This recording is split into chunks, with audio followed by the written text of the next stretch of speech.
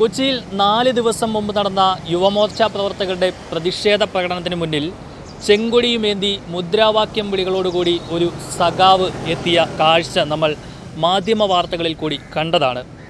മനോരമ ന്യൂസാണ് ആ ദൃശ്യങ്ങൾ ആദ്യം പുറത്തുവിട്ടത്. തുടർന്ന് ഈ ദൃശ്യം വൈറലാവുകയും ദേശീയ മാധ്യമങ്ങൾ വരെ വാർത്തയാക്കുകയും ചെയ്തു. ആരാണ് ഇത്ര ചങ്കൂറ്റത്തോടു കൂടി ഈ യുവമോർച്ച പ്രതിഷേധക്കാരുടെ മുന്നിലേക്ക് ചെങ്കൊടിയുമേന്തി എത്തിയത്? അതിന്റെ അന്വേഷണത്തിലായിരുന്നു ഈ കഴിഞ്ഞ നാല് ദിവസമായി പാർട്ടി പ്രവർത്തകരും മാധ്യമ പ്രവർത്തകരും ഒക്കെ.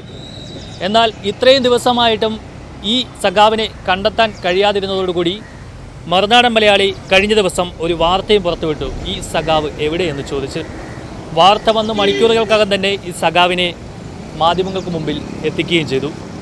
അത് സി പി എമ്മിന്റെ പ്രവർത്തകനായ സനിൽ എന്ന ഒരു ആളാണ് ഈ ഒരു സഖാവിനെ മാധ്യമങ്ങളുടെ മുന്നിൽ എത്തിച്ചത്. അത് മറ്റാരുമല്ല രതീഷ് എന്ന ഇടപ്പള്ളി സ്വദേശിയായിരുന്നു. എന്തായാലും ഇന്ന് നമുക്ക് ഈ രതീഷിനോട് ചോദിക്കാം എന്താണ് അന്ന് നടന്നത്? എന്തുകൊണ്ടാണ് ഇത്ര ചങ്കൂറ്റത്തോടു കൂടി ഈ ഒരു പ്രതിഷേധക്കാരെ നേരിട്ടത് എന്നൊക്കെ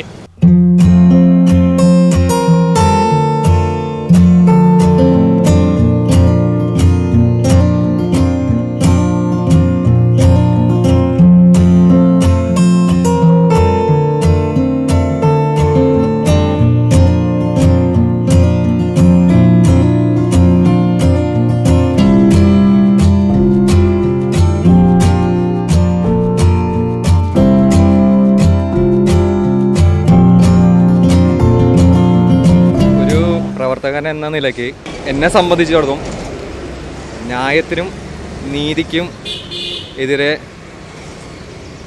പോരാടുന്ന ഒരു പ്രസ്ഥാനത്തിൽ കൂടിയാണ് ഞാൻ എസ് എഫ് ഐയിലേക്ക് വരുന്നത്.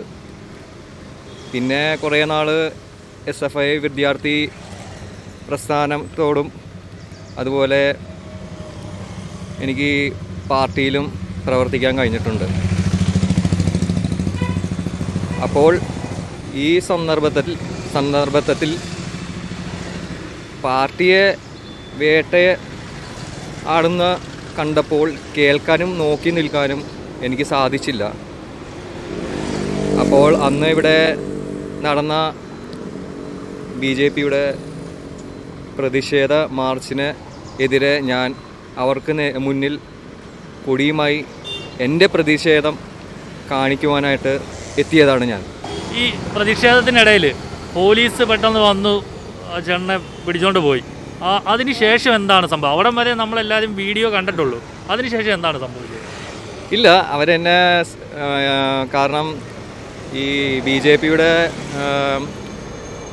പ്രകടനത്തിന് തൊട്ട് പിന്നാലെ യൂത്ത് കോൺഗ്രസിന്റെ മാർച്ചും ഉണ്ടായിരുന്നു. അവരെന്നെ ഒന്നും ചെയ്തില്ല. അവരെന്നെ സേഫായിട്ട് ജീപ്പിലിരുത്തുകയും അതിനുശേഷം നടന്ന യൂത്ത് കോൺഗ്രസിന്റെ പ്രകടനത്തിന് ശേഷം എന്നെ പേരും വിലാസമൊക്കെ ചോദിച്ച് എന്നെ വിട്ടയക്കുകയും ചെയ്തു. വേറെ എന്നെ ഉപദ്രവിക്കുകയോ അങ്ങനത്തെ കാര്യങ്ങളൊന്നും ചെയ്തില്ല. ഈ പ്രതിഷേധ സമരത്തിന് എത്ര സമയമായപ്പോൾ ഇവിടെ വന്നു? ഞാനിത് തുടർന്നേക്കാളും മുമ്പ് ഒരു പത്ത് മണിക്ക് ഞാൻ ഇവിടെ ഉണ്ട് സ്പോട്ടിലുണ്ട്. അപ്പം ഞാൻ എല്ലായിടത്തും ചോദിച്ച് വിവരമൊക്കെ അറിഞ്ഞ് എങ്ങനെയാണ് ഇവർക്കെതിരെ നീങ്ങാമെന്നുള്ള ഇതിലായിരുന്നു എന്റെ ഇത് പ്രീ പ്ലാനിംഗ് ഒന്നല്ല. എനിക്ക് ശരിയല്ല എന്ന് തോന്നി. അപ്പോൾ ഞാൻ ആ സമരക്കാരുടെ മുമ്പിലേക്ക് എടുത്ത് ചാടുകയായിരുന്നു. ഇത്രയും ഭയങ്കര വൈറലായി അതായത് ദേശീയ മാധ്യമങ്ങളടക്കം വാർത്ത കൊടുത്തു. സോഷ്യൽ മീഡിയയിൽ പ്രമുഖ C P M Swaraj M L A വരെ ഈ ഒരു ഫോട്ടോ ഷെയർ ചെയ്തു. എന്നിട്ടും താങ്കൾ ഇത് എന്തുകൊണ്ട് അറിഞ്ഞില്ല? ഇല്ല തീർച്ചയായിട്ടും ഞാൻ മൊബൈലൊന്നും അങ്ങനെ യൂസ് ചെയ്യാറില്ല. അപ്പോൾ എന്റെ ഒപ്പം എസ് എഫ് ഐയിൽ ഞാൻ എസ് എഫ് ഐയിൽ പ്രവർത്തിക്കുമ്പോൾ ജില്ലാ കമ്മിറ്റി അംഗവും കൂടിയായിരുന്ന സഖാവ് സി കെനെ കാണേണ്ടതിന് എനിക്കൊരു ആവശ്യം വന്നപ്പോൾ ഞാൻ ഇന്നലെ അദ്ദേഹത്തിനെ സമീപിക്കുകയായിരുന്നു. അപ്പോൾ അതിനുശേഷം ഒരു ചായയൊക്കെ കുടിക്കാനായിട്ടായിരുന്നു ഞങ്ങളുടെ പരിപാടി.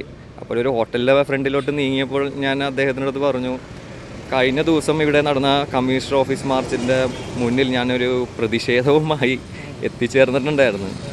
അപ്പോൾ അദ്ദേഹം എന്റെ അടുത്ത് ചോദിച്ചു അത് താങ്കളാണോ എന്ന് ചോദിച്ചു.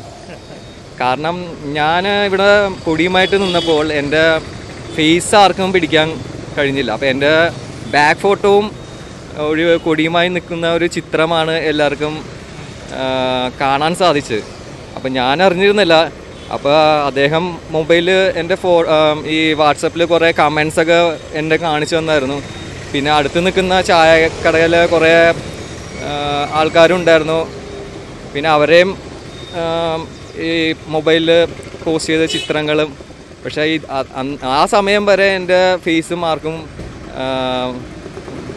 അറിയില്ലായിരുന്നു. ശരിക്കും എന്റെ ഞാൻ ഒരു എടപ്പള്ളി സ്വദേശിയാണ്. എന്റെ വീട് ചങ്ങമ്പുഴ പാർക്കിന്റെ അടുത്താണ്. കണ്ണന്തോടത്ത് റോഡ് എന്ന് പറയും. അവിടെയാണ് താമസിച്ചിരുന്നത്. ഇപ്പോൾ നമ്മുടെ അമൃത ഹോസ്പിറ്റൽ അവിടെ പോണേക്കര എന്ന സ്ഥലത്താണ് താമസിച്ചു വരുന്നത്. വീട്ടിൽ ആരൊക്കെയുണ്ട്? വീട്ടിൽ വൈഫുണ്ട് രണ്ട് പിള്ളേരുണ്ട്. ഈ വൈഫും പിള്ളേരും ഒക്കെ ഈ സംഭവം അറിഞ്ഞോ? അറിഞ്ഞു കാണണം. നാട്ടുകാരും അറിഞ്ഞില്ലേ ഈ സംഭവം? വീട്ടിൽ തിരക്കി വന്നില്ലേ? ഇല്ല ഞാൻ കുറച്ച് നാളായിട്ട് ഇവിടെ ഉണ്ടായിരുന്നില്ല പണിയായിട്ട് ബന്ധപ്പെട്ട് ഞാൻ വേറെ കുറച്ച് സ്ഥലങ്ങളിലായിരുന്നു. അപ്പോൾ ഇന്നലെ ഒരു ആവശ്യത്തിന് വേണ്ടിയാണ് സഖാവ് സി കെ അടുത്ത് വന്നത്. ഈ പ്രതിഷേധ സമരത്തിന് ശേഷം എങ്ങോട്ടാ പോയത്? ഞാൻ ഇവിടെ തന്നെയൊക്കെ ഉണ്ടായിരുന്നു. എറണാകുളം സിറ്റിയിൽ എനിക്ക് മിനിഞ്ഞാന്ന് കുറച്ച് വർക്ക് ഉണ്ടായിരുന്നു. ലക്ഷ്മി ഹോസ്പി- ഹോസ്പിറ്റലിന് സമീപം ഒരു ചെറിയ പെയിന്റിങ് വർക്ക് ഞാൻ ഹെൽപ്പറായിട്ടാണ് പോയിക്കൊണ്ടിരുന്നത് കൺസ്ട്രക്ഷൻ മേഖലയിൽ എറണാകുളം ജില്ലാ കെട്ടിട നിർമ്മാണ തൊഴിലാളി യൂണിയനിൽ ഉണ്ടായിരുന്നതാണ് വൈറ്റില മേഖലയിലാണ്.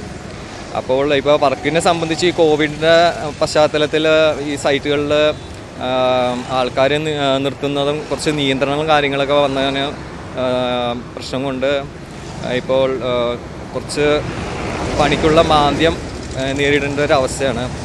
പിന്നെ വർക്ക് വരുമ്പോൾ ഏതെങ്കിലും ജംഗ്ഷനിൽ വരിക സാധാരണ കടവന്ത്ര ആ ഭാഗത്തു നിന്നാണ് പണിക്കൊക്കെ പോകുന്നത്. എന്തെങ്കിലുമൊക്കെ പണി വരുമ്പോൾ അങ്ങനെ ചെയ്തു കൊടുക്കാറുണ്ട്. പോയി ഒന്നും നോക്കാതെ അറിയു അറിയാവുന്ന പണി പോയി ചെയ്തു കൊടുക്കാറുണ്ട്. ഈ പ്രതിഷേധ പ്രകടനം യുവമോർച്ചയുടെ അങ്ങനെ ശക്തമായി മുന്നേറി വരികയായിരുന്നു. അപ്പോൾ അതിനു മുന്നിൽ ഒറ്റയ്ക്ക് പോയി പ്രതി പ്രതിഷേധിക്കുമ്പോൾ അവരാക്രമിക്കുമോ എന്നുള്ളൊരു പേടിയൊന്നുമില്ലായിരുന്നു. പേടി കാരണം എനിക്ക് പറയാന്നുള്ളത് പറയാനുള്ള വീര്യമായിരുന്നു ഒരു കാര്യം എല്ലാവരും ചിന്തിക്കണം.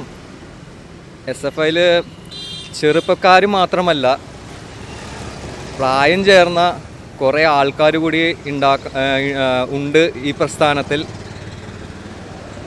അത് മറക്കണ്ട എന്നാണ് എനിക്ക് പറയാനുള്ളത്. അല്ല എന്തെങ്കിലും കാരണവശാൽ അവർ വളഞ്ഞിട്ട് മർദ്ദിക്കുമോ? അങ്ങനെ വല്ല ഒരു പേടിയൊന്നും ഇല്ലായിരുന്നു. ഇല്ല അന്നും ഇന്നും പേടിയൊന്നും ഇല്ല സമരം ചെയ്യേണ്ട ആവശ്യം വന്നാൽ അതിനു മുമ്പിൽ സമരത്തെ നെഞ്ചും പിരിച്ച് പോയിട്ടുണ്ട് പഠിക്കുന്ന കാലഘട്ടത്തിൽ. അപ്പോൾ ആ പേടി മനസ്സിലില്ല. പിന്നെ പേടിയില്ലാത്ത കാരണം എന്ത് പണിക്ക് പോകാനും മനസ്ഥിതി കാണിക്കാറുണ്ട്.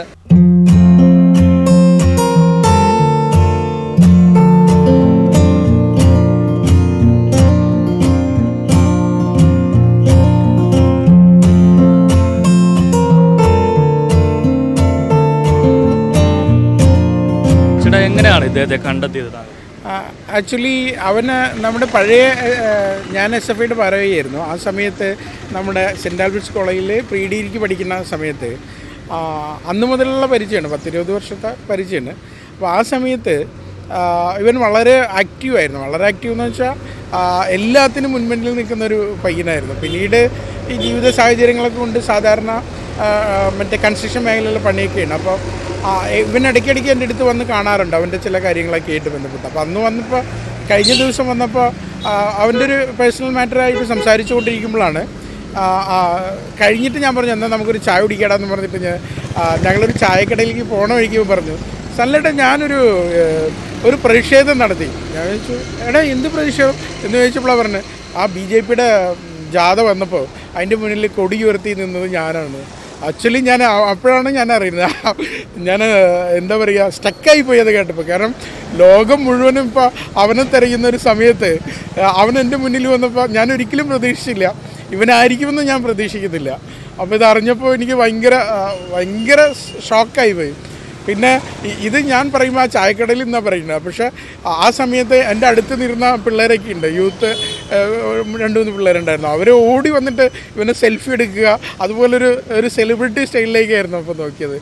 എനിവേസ് ഇസ് എന്താ പറയുക കേരളത്തിന്റെ ഇടതുപക്ഷത്തിന്റെ മുന്നിൽ തലയുർത്തി നിൽക്കാൻ ഇടതുപക്ഷത്തിന് തലയുയർത്തി നിൽക്കുവാൻ വേണ്ടിയിട്ടുള്ള ഏറ്റവും വലിയൊരു പ്രചോദനമായി അത് മാറി എന്നുള്ളതാണ്. ഈ ബി ജെ പിക്കാരും കോൺഗ്രസ്സുകാരും നടത്തുന്ന ഈ സമരങ്ങൾക്കെതിരെ ഏതൊരു ഇടതുപക്ഷ ചിന്താഗതിയുള്ള ആളുകളുടെയും മനസ്സാണ് അവനിൽ അവിടെ ഞാൻ ഞാൻ കണ്ടത്.